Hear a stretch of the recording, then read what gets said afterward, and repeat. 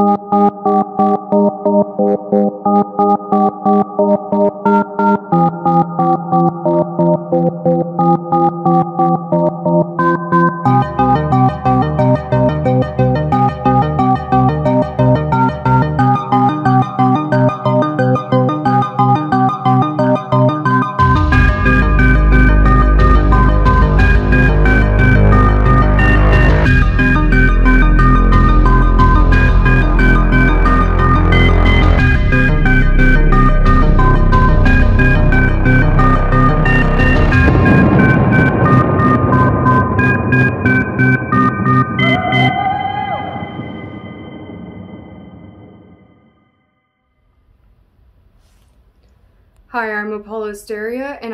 actress working in the entertainment industry in Los Angeles, California. I am also a disclosure activist, and I have been a musician for many years for a multi award winning band, The Siren, which kind of ended with COVID. And I'm also an artist of many forms. I recently started my own talk show and I am also on many other talk shows and speak at conferences nationwide. Um, I'm also a part of the Free and Equal Elections Committee, the Free and Equal Elections Foundation, which uh, their goal is to get rid of the two party system and make it so that every party runs on an equal platform. Uh, so I'm very involved in things politically, um, but I'm also you know, my main career is being an artist, working in the entertainment industry in Hollywood. I decided to make this video today because I am dealing with a lot of situations in Hollywood which is making me want to quit the entertainment industry or just quit being in Hollywood in general.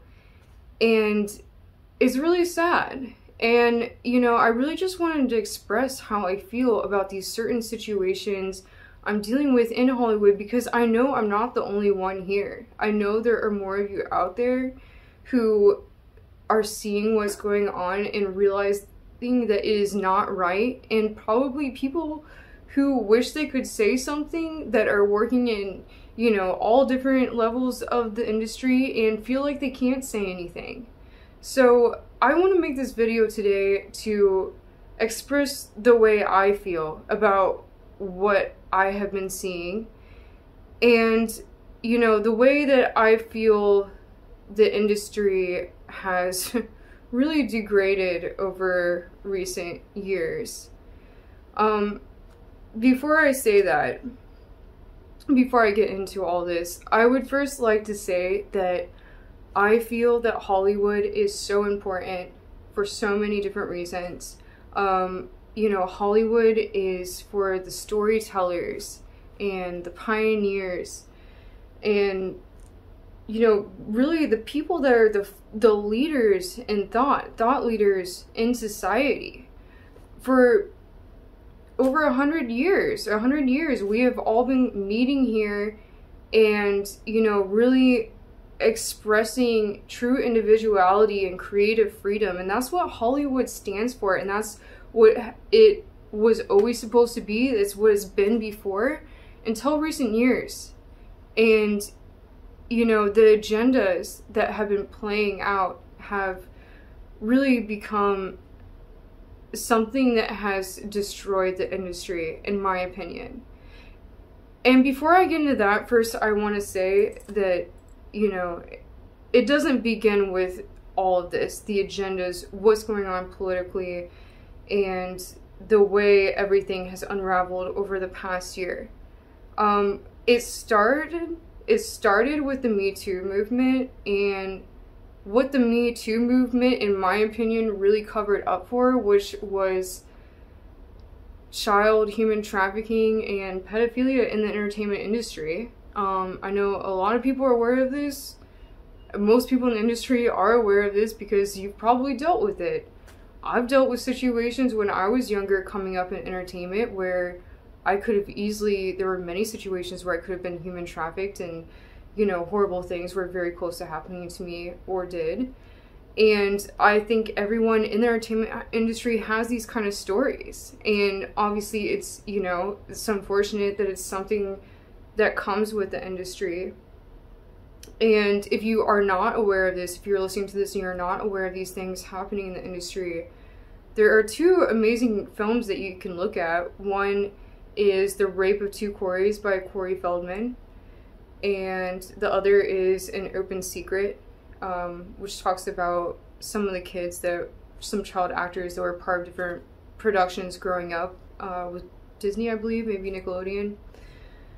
So I really encourage you to check those out if you are not aware of these things I'm talking about. Um, but all that aside, besides all of that and the issues that are going on with all that, what I'm really addressing today is what has been going on politically in Hollywood.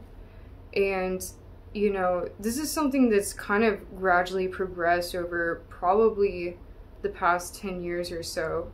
But, you know, like I said earlier, Hollywood has been the place for original creative freedom for many years. I mean, just look at it in the in the 40s, the 30s, even back during silent films in the 70s, everything was all about rock and roll, 60s, 70s rock and roll, tearing down the old system and rebuilding it new. And what happened to that? When did we become when did Hollywood become not about being the pioneer of society and more about telling its audience to follow their agendas. When did it become this way? And let me ask you this if you are someone working in the entertainment industry, do you really feel this is what your audience wants to hear?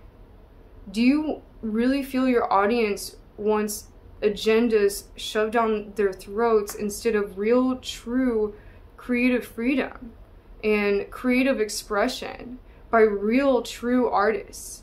And really amazing directors and producers and entertainers that are thought leaders in society. When did it become the way that it is now, where you can't even sit there and think of a single icon that means anything to society right now in the entertainment industry? I'm sorry, but can you think of a single one? I mean, think of all these people in the past, these amazing icons in the past. How did it become what it is now? How did the industry become what it is now? The people that are supposed icons are going on stage and just having the most shock value they possibly can just for the ratings or they're accepting awards and giving speeches about the agendas that they are told to express. When did it become that way? The Hollywood I remember, the real Hollywood that people love that was pro American, pro freedom, was about these artists coming forward and expressing their thoughts as to what the true movements were in society, what was truly important to them, and you know, what real creative freedom was and real pro American values. And all is done is become this shock value thing where people, you know, we just have entertainers doing strip shows on stage with horrible music and then they're the ones that get the Grammys. How does that happen? And I'm not complaining, I'm just saying, why is this happening? And what is the reason behind it? I mean, it's really unfortunate because I feel that the market in Hollywood is missing over half of its audience. Let me just say this if you are a director, a producer, uh, you know, talent, anyone that's working casting, anyone that's working at any level of the industry right now, or maybe you work for a record label, uh, I'm not excluding that.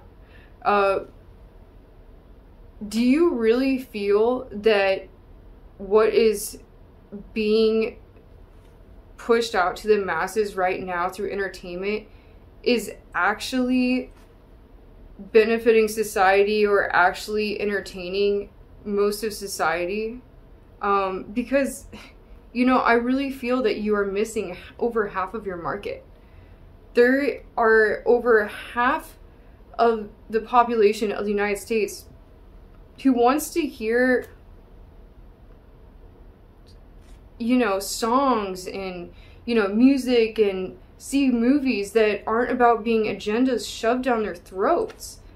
And that's all it is anymore. And it's horrible. I haven't seen a single comedy show that i have actually laughed at recently.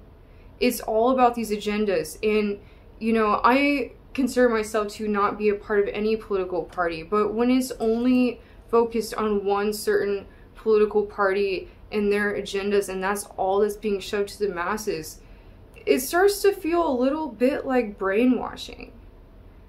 And you know who are the true icons anymore? I got into this a little bit ago and i want to bring it up again but who are the true icons anymore?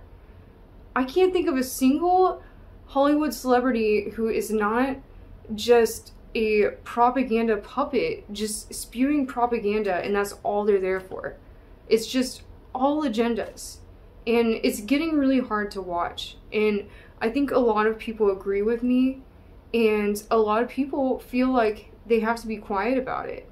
They feel like they can't say anything and that it is just what it is. Um, you know a lot of people are aware of you know different agendas that are happening politically in Hollywood um, in regards to three letter agencies, different programs that have happened since the late 30s, early 40s in the entertainment industry.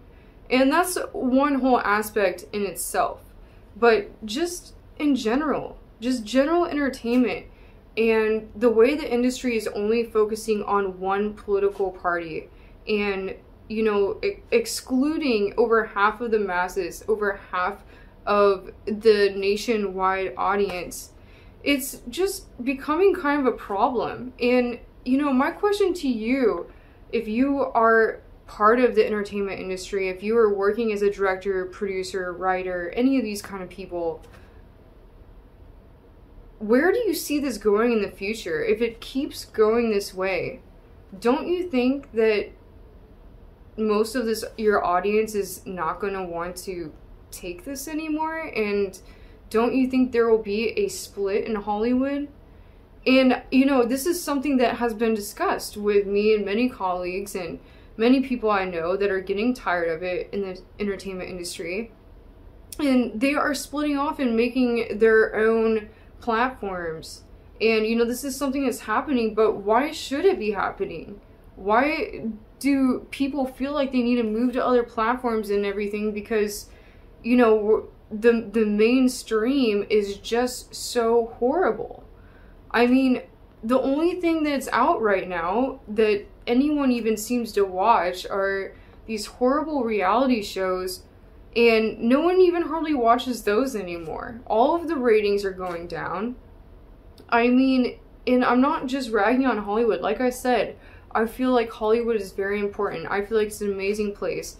And I've been told by many people that I should just leave and just do what I do in my other forms of art. But I don't want to do that. I, I feel like Hollywood can be saved. Quite honestly, I really feel that way. And I think that, you know, certain people that are in the industry that are a part of these agendas and that are a part of these programs aren't looking at the possibility that they could be held accountable for their actions in the future.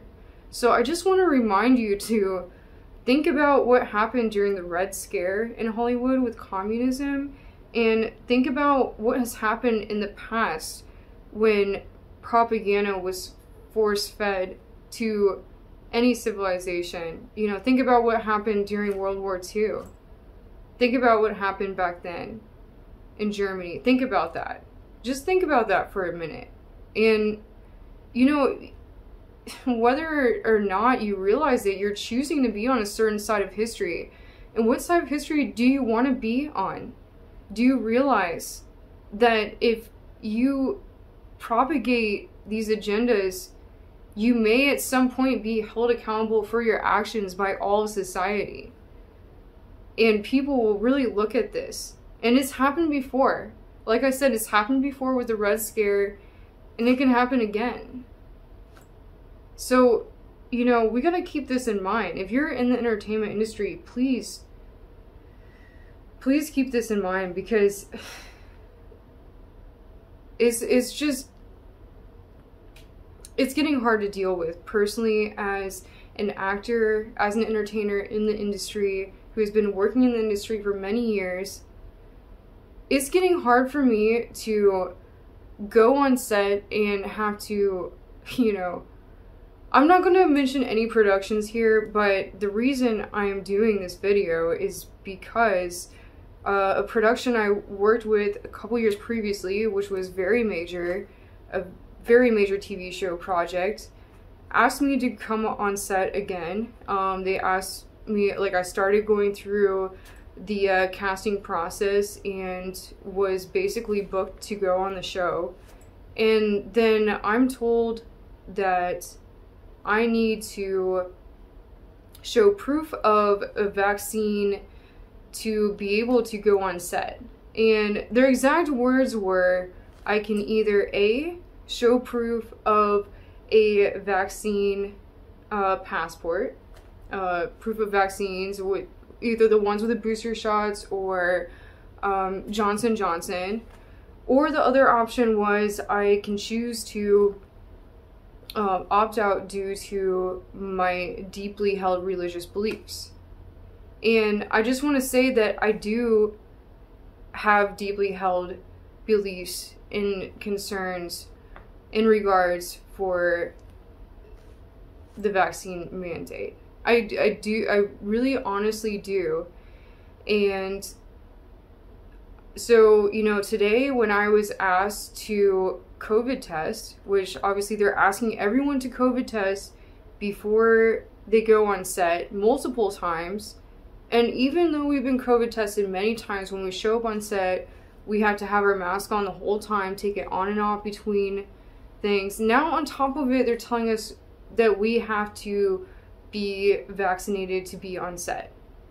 Why is that if we're already being tested multiple times? Why would the job require that when they still require us to be tested usually like three to five times before one day of work? I just, I, I just, first of all, I just don't understand how that makes sense. And second of all, uh, when I said yes that I was, I did uh, have one of those two options that they had given me, and that for me would be regarding deeply held religious beliefs exempting me from vaccines.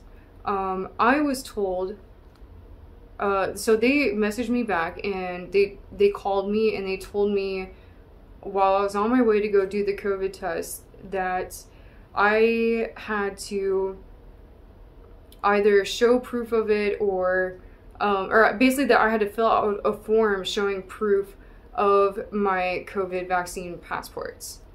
Um, and they didn't even mention the second option, which the casting agency has sent to everyone, that is a very um, basically a rule. I don't know if it's like a law in the state right now, but basically they said either you have the option of showing proof of vaccine or showing proof or basically uh, opting out due to religious, deeply held religious beliefs. And, you know, I went to fill out the form that they sent me before going to do my COVID test to do my fitting for this show I was supposed to work on for 8 to 11 days. And when I pull up the form, nowhere on the form does it say there's an option for me, for anyone that has deeply held religious beliefs to opt out. So I call the production and I tell them, hey, you know, I was told that if I want to be on the set, I could, uh, you know, show that I'm opting out of the vaccine mandate for the set because of my deeply held religious beliefs. And they basically told me they didn't know what to do about it, that they were going to talk to HR, and you know, that basically it was a whole mess for them. And I'm just thinking, well, why did you say that it is okay? Why did my casting agency say that these are my two options? Now, if you're wondering what my religious, my deeply held religious background is, I did grow up Christian. Um, I went to, you know, vacation Bible school all growing up, youth groups. I was at church every Sunday. And, you know, I've been baptized. I don't know how much else, what other ways I can show proof of my background as being religious. But, you know, this was something for me, uh, just my whole life. I have never done the whole vaccine thing and most people that are Christian feel that way because of the aborted fetus cells that are in vaccines. And also, you know, just a list of many different uh, things that are in vaccines that have to do with, you know, human DNA and I there's a whole list and I can read it right now. I have it with me, but before I get into that, first I want to say that, you know, if you know me personally, you know, I'm kind of a wild individual. I wouldn't consider myself a very dogmatic Christian type person. Um, I've studied all religions, and I believe that there's truth in basically all religions in regards to God being a one source energy, an energetic collective that we are all a part of. And I think there are rivers of light, as I like to say, or rivers of truth, and all these different ways of looking at God or your higher power or the emanations of God, gods and goddesses, any way you want to look at it. And, you know, I consider myself a bit of a theologist and I have studied all religions. I've even started practicing meditating for Falun Gong and, um, you know, I've done energy work all growing up. I have been certified with different energy healing methods. And, you know, for someone like me who, you know, has stopped smoking, basically stopped drinking for the most part, and, you know, has refused to really put toxins in their bodies, taking a vaccine is just something that goes completely against my entire belief system. And so I looked online and I found these different letters that you can send to your employer. And so I'm looking through these different letters and I kind of formed my own letter. And so I sent this letter to my production office uh, for this show. And who knows what will happen with it. I probably won't get booked. I doubt I will. Um, as soon as I told them that I wanted to show that I had deeply held religious beliefs, they basically, they just canceled my COVID test and they told me, basically don't worry about coming in. Even though it was an option. I mean, they didn't basically, they didn't tell me, oh, you're you're never going to get in because of this. They basically just told me, oh, we got to work this out. And, you know, made it sound like it's a whole mess for them, basically even though it clearly stated in my casting uh, agency email, the casting agency's email, that I had this option. But obviously, doesn't look like I do have the option. But, you know, since the form they sent me did not have the option, I sent them this email, which I'm going to read to you right now. Dear production person, I was informed by a casting company that I'm a part of, that I had two options regarding a vaccine mandated production. A, to show proof of vaccination, or B, to inform the production of my vaccine exemption due to religious reasons. I was not given the option to choose option B in the form sent to me by production, so I will send my exemption letter to you for the production to review. I hereby assert my right to a religious exemption from vaccination. I'm a Christian who believes in the Bible, including the teachings in the New Testament. I have a Christian worldview, and this perspective recognizes that faith and conscience compel an individual to submit to the proper jurisdiction within the rule of law, in this case, divine law. I'm objecting to vaccines because I believe in and follow God and the principles laid out in the Word, and I have a deeply held belief that vaccines violate them. I believe my body is a temple for the Holy Spirit. Specifically, the New Testament teaches that know ye not that ye are the temple of God, and that the Spirit of God dwelleth in you. If any man defile the temple of God, him shall God destroy. For the temple of God is holy, which temple ye are what? Know ye not that your body is the temple of the Holy Ghost which is in you, which you have of God, and you are not your own. 1 Corinthians 3:16 to 17. Accordingly, I believe to my Christian faith that my body is a temple of the Holy Spirit. It is a God given responsibility and a requirement for me to protect the physical integrity of my body against unclean food and injections. Vaccines contain neurotoxins, hazardous substances, attenuated viruses, animal parts, foreign DNA, albumin from human blood, carcinogens, and chemical waste that are proven to be harmful to the human body. And below this, I um, I added a link that is straight to the CDC website listing all these ingredients, which I just listed. So no, none of that is false. It is all 100% fact, and it is on the link that I sent them below that. Um, and I continue. Not only the additives in vaccines consider contaminants from a biblical standpoint, the contaminants themselves are often contaminated. And there I list proof of where vaccines have been contaminated. And, uh, you know, that's a whole wormhole on its own. And this is by real, factual government website. Um, and I continue. At least 27 vaccines contain cells, cellular debris, protein, and DNA. Please see, and again, I list the CDC.gov link of what is actually in their vaccines that they have listed on their site. So this is all true. And um, please see, you know, here's the link from aborted babies, including but not limited to adenovirus, polio, DTaP polio, HIV combo, Hep A, Hep A, Hep B combo, MMR, MMRV, Proquad, rabies, varicella, shingles, vaccines, Ebola, tuberculosis, malaria, and influenza. And, you know, again, I provided a link below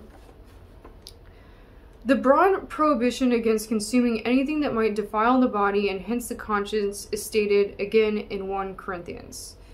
Howbeit there is not in every man that knowledge, for some with a conscience of the idol unto this hour eat is as a thing offered unto an idol, and their conscience being weak is defiled. Again in 2 Corinthians 7 1, there is this admonition against defiling the flesh and the spirit.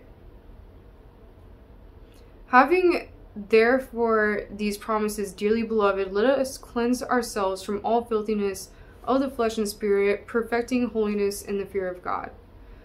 More broadly, the New Testament requires of Christians that we render to Caesar the things that are Caesar's, and to God the things that are God's. Mark 12 17. When it comes to consuming things in our own bodies, as opposed to make payments to government compliance with God's law is required.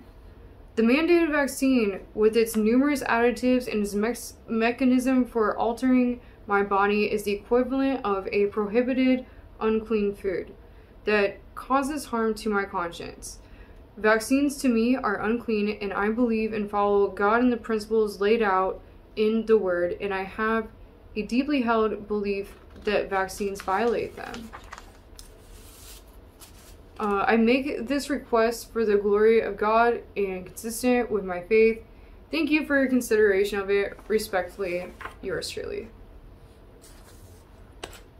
So in here, I did actually print out the list of all the ingredients, and this is from the CDC website. I can't go through all these here, But, you know, this I sent to them. And obviously it lists everything I mentioned and it's from the CDC's official website.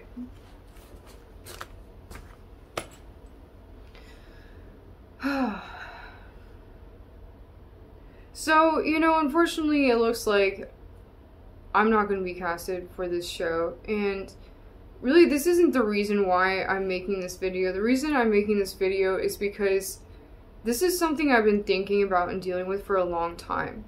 And for someone who has spent their entire lives working to build their career in the entertainment industry for many years, going through many trials and tribulations, and really paying their dues, this has been really hard to deal with. And the fact that I was not respected for my religious values is, I believe, against the law. And, you know, obviously they say the casting agencies are like, okay, this is an option, but it's not really an option, it's looking like. So I just want to know, you know, are any else of you out there, are there any of you out there dealing with this? Is it just me? Um, and you know, this is just a message from me to Hollywood in general because I just don't want to see the industry keep going the way that it's going. I think it's sad and I think that the original way Hollywood was was really amazing and now unfortunately it's just become this propaganda and I think a lot of people are tired of it. And you know, I just want I'm just giving this message to everyone that works in the industry to really sit there and think about what you're a part of right now. If you have any sort of major influence in the industry, really sit there and look at these agendas that are being pushed right now and why. Since when did entertainers become the types to tell everyone to sit down and shut up and listen to the media and the government and do whatever they say. Since when did that happen? You know, I thought part of being American was, and part of Hollywood is supposed to be like the epicenter of America. I mean, Hollywood is what everyone outside world, everyone in other countries and foreign nations look at Hollywood as representing America. And how are we representing America if we are not representing what it means to have true freedom? And the true freedoms supposedly that are being expressed right now are just completely you know defiled and just devalued and not what it truly means to be free. And I think it's important for people like me who have these certain values to stay in the entertainment industry and not leave and move to other platforms because I think it's important that, you know, Hollywood is saved, like I said earlier, and I know that sounds crazy. And I'm not saying I'm a perfect person or anything, and you know, I know I just said all this stuff about my religious beliefs and values, but I've never been a perfect person. I don't think anyone is. Um, I've come to my own realizations over the past years and I've made a lot of changes in my own life and um, you know I just I just really feel that you know the industry is just progressively getting worse and worse and progressively becoming more agenda and propaganda driven and I feel that the agendas and propaganda being expressed is extremely dangerous and does not befit true American values. And it's hard to watch. And I, I feel, you know, again, like I said earlier, I feel that a lot of entertainers and people working in the industry in Hollywood don't realize that they're kind of in this bubble of like this sort of you know thought tank where it's like you know there's these certain things that are being expressed and it's just being passed around the industry and people don't realize what the whole outside world the way the whole outside world is seeing this. And, you know, I'm not sure people do realize the agendas they're a part of. And, you know, the way our government has systematically taken away our freedoms over the past year or four years maybe maybe more than that. But you know it's definitely happening and maybe a lot of these people in the industry do realize this and they're just a part of some agenda and that's unfortunate but i just want to say that i would love to see a change in hollywood and i hope there are many people out there who agree with me and to please share my message because I just want to express my feelings about what I'm experiencing as an artist. And I really hope that some changes are made soon and that the industry goes back to being a pioneer in the human thought movement, um, where a place where the true tor- storytellers can gather and a place where people can come that are artistic and want to come and express their true religious freedom. And that's why I'm here, and that's why I love Hollywood, and that's why I want it to remain real Hollywood and not the Hollywood it is unfortunately becoming.